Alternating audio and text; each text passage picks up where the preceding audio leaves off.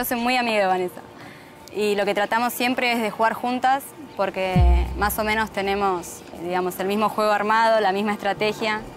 Cuento con todo con ella. Vanessa como jugadora es excelente por el esfuerzo que le pone y la voluntad. Ella agarra cualquier caballo, el que esté, y se sube igual, fusta en mano y arranca.